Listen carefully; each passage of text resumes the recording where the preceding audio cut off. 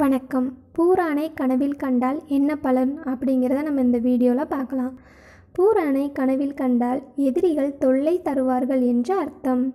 மேலும் நீங்கள் எதிர்பார்க்காத நண்பர் கூட உங்களை சங்கடத்தில் ஆழ்த்துவார்கள். முன்னெச்சரிக்கையாக இருக்க வேண்டும் என்பதே இக்கனவின் அர்த்தமாகும். பூரானை கொல்வது போல் கனவு கண்டால் கனவு காண்பவருக்கு இருக்கும் பிரச்சனைகளை தானே சரி செய்து கொள்வார். மேலும் எதிர்ப்புகளை சமாளித்து வெற்றியும் பெறுவார். நிறைய பூரான்களை கனவில் கண்டால் அவர் செய்யும் வேளையில் பல தடங்கல்கள் மன சங்கடங்கள் ஏற்பட போகுது என்று அர்த்தம். இப்போ இந்த கனவுகள் பழிக்கும் நேரங்களை பார்க்கலாம். ஒரு இரவு என்பது நான்கு ஜாமங்களாக பிரிக்கப்படுகின்றது.